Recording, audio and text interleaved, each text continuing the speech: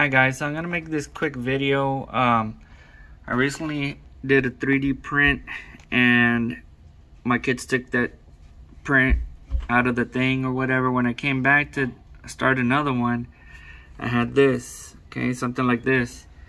So uh, I kind of freaked out because the printer's like not even a month old.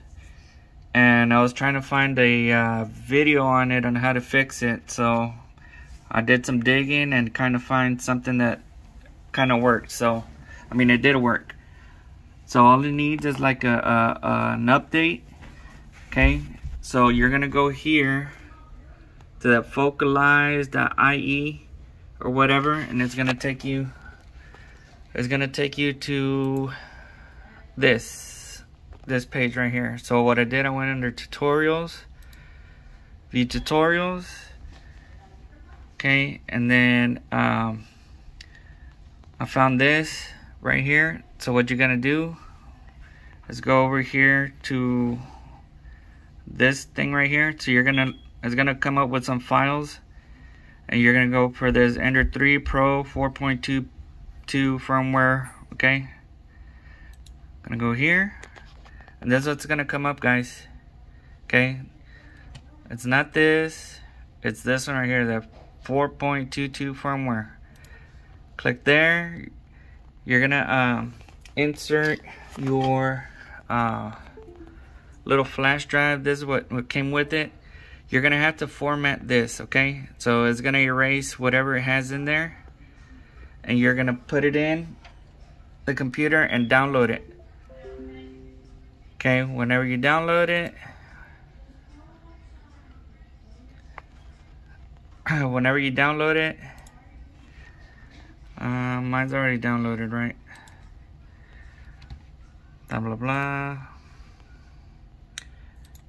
Uh, anyways, it's already downloaded. So, uh, there's some other stuff I did. On. Uh, is it? Uh, no. Okay, well, anyway, once you download it, it's gonna come up. Let me see. Uh, whatever. This one. It was on uh, Ac Acrobat, whatever. Blah blah blah. It wasn't a match or whatever. So what I did was I went to. There it is the Ender Pro 3, this one, and it's on my drive F. Okay. I'm gonna put it in. And like I said, it's already downloaded on there. You see, I had already downloaded earlier. So, once I did that, that's what I did. Eject. Okay. Now save to take it out. So what I did is I took it out and then I went to my uh, 3D printer. It, it, was off.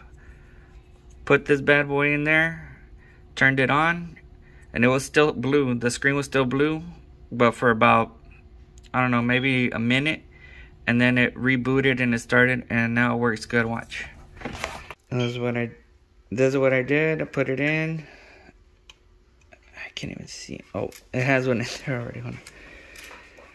I put it in. Bam. And turned it on. Okay. When I first tried it uh, last time, it did it. And I promise you, I had that blue screen and everything. And that went on for about two minutes. And then that little dragon thing came on. And then this. So we're ready to go. Okay. Hope that helps. I mean, it will help. So later, please follow, subscribe. See you later. Bye.